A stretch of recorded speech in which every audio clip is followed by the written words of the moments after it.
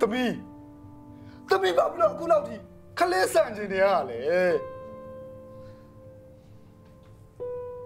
ဟန်တယ်မင်းတော်တော်တရားလွန်နေပြီတသက်လုံးကသမီးကိုလေးတန်းမာမာနဲ့ဘယ်တော့မှပြောဘူးလို့တော့မင်းဘာတွေပြောနေတာတော့အမကျွန်တော်သမီးကိုကျွန်တော်ဆုံးမနေတာအမအခုတော့ရှောက်လို့နေလို့လေအိမ်ကနေပူလောင်နေရတာ